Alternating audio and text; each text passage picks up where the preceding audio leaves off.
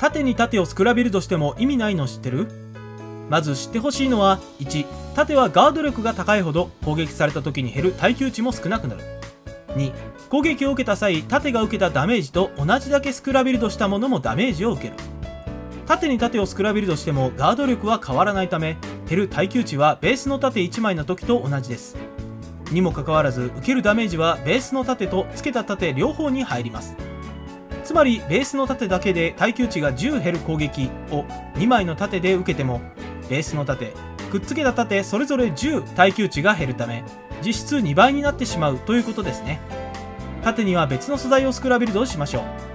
う。土器の耐久値の動画は固定コメントからどうぞ。